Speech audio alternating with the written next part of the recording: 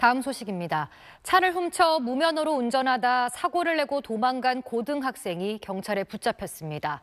그런데 알고 보니 사고 이후 조수석에 있던 동승자를 차 밖에 버리고 도주한 사실이 확인됐습니다. 박찬범 기자의 단독 보도입니다.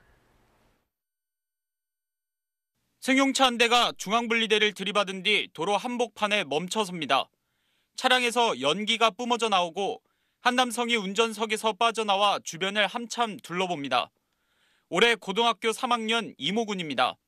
이군은 다시 차량 안으로 가 안쪽을 살피더니 조수석에 타고 있던 또래 이성 친구 A양을 빼냅니다.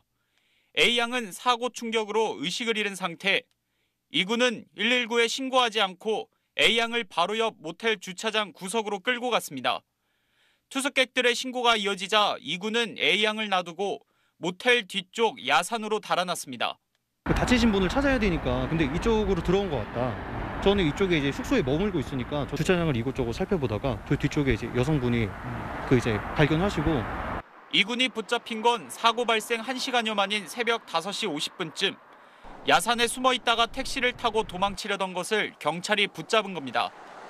이군은 음주 상태는 아니었지만 차를 훔쳐 무면허로 운전한 것으로 드러났습니다.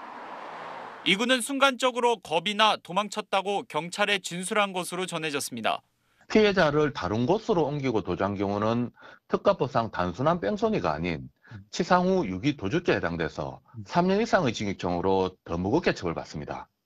경찰은 이군을 상대로 뺑소니와 차량 절도, 무면허 운전 혐의를 함께 적용해 구속영장을 신청할 방침입니다. 한편 병원으로 이송된 A양은 머리 부분을 크게 다쳐 의식불명 상태에 빠졌습니다. SBS 박찬범입니다. 네, 안녕하십니까. 김현우입니다. 더 많은 뉴스와 라이브 이벤트를 보고 싶으시면 화면 오른쪽을 눌러서 구독해 보시길 바라겠습니다. 또 저희 SBS 앱을 다운로드 하시면 속보 알림도 받아보실 수 있습니다. 항상 저희 SBS 뉴스를 시청해 주셔서 대단히 고맙습니다.